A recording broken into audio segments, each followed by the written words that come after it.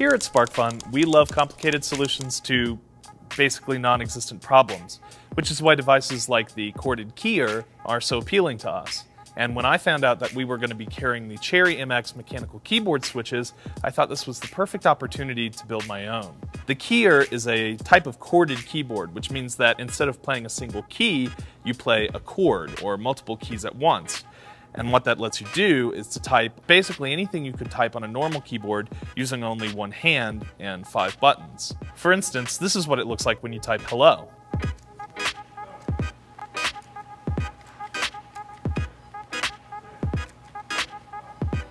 Because you have five keys, you can divide it up into 31 distinct binary chords. So you have 26 for A through Z.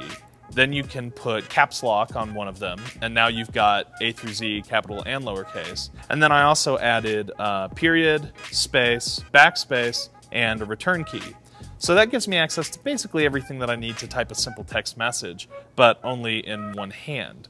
My keyer is able to enumerate itself as a USB keyboard because I'm using the SparkFun Pro Micro, which has a native USB driver on board, so I was able to just make a few simple Arduino calls so that it would act as a keyboard, and when I plug it into my computer, it pops up just like any other keyboard that I plug in and works with all of my applications. I've also 3D printed this case and a series of keycaps, which gives it a pretty slick appearance and makes it a little bit more ergonomic to use. Of course, for the switches, I'm using the Cherry MX mechanical keyboard switch. And this is the kind of switch that you might find in a high-end mechanical keyboard, and you can really feel it when you push down on it. It has a really rewarding click. There's enough mechanical parts in here that it really lowers the amount of bounce that you get on a key press, so it's really nice to decode with a microcontroller. The Cherry MX switch has a unique footprint, so to make it easier to work with, we've rolled this breakout board. You simply solder the switch into place on the breakout, and then it gives you all of these nice little headers to solder to.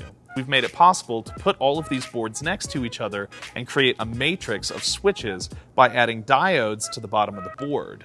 If you want to replicate my Keyer project at home, you can get all of the 3D print files as well as the Arduino code on the GitHub repository, and a link to that is in the description of this video.